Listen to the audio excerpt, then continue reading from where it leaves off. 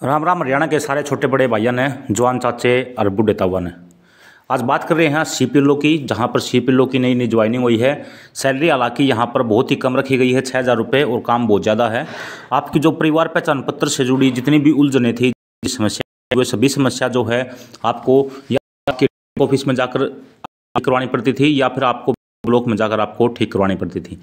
लेकिन अब जो है, प्रत्येक गाँव के अंदर एक अटल सेवा केंद्र जो है वो स्थापित कर दिया गया है, जिसकी सैलरी छः हज़ार रुपये रखी गई है। उसके माध्यम से जो है, आप परिवार पत्र से जुड़ी हर समस्या का समाधान जो है, अपने के ग्राम के अंदर ही लेकर आ सकते हैं। यहाँ पर जो है, उनको सैलरी बेस पर रखा गया है छः हज़ार रुपये सैलरी जो है वहाँ पर है। और सुबह से शाम तक जो है, वो आपके शौल में बैठेंगे। वहाँ पर फैमिली हर की काम करेंगे। जैसे मैं भिवानी की बात करूँ तो भिवाने के अंदर ऑपरेटर जो होंगे हैं, लेकिन भिवानी के अंदर टोटल 312 गाँव जो हैं यहाँ पर हैं। अभी भी जो है काफ़ी सारी नियुक्तियाँ यहाँ पर होने वाली हैं।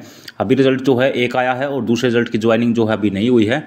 तो जल्द ही जो है हर गाँव के अंदर एक एक ऑपरेटर जो है बिठा दिया जाएगा, जो आपके परिवार पहचान पत्र से जुड़ी हर समस्या का समाधान जो है वो वहाँ पर करेगा। अब आपको कहीं पर डिस्ट्रिक्ट में या फिर अपने जो ब्लॉक है ब्लॉक लेवल में भागने की आवश्यकता नहीं है, आपको अपने गाँव के अंदर ही फैमिली आईडी से जुड़ी हर समस्या का समाधान मिल जाएगा।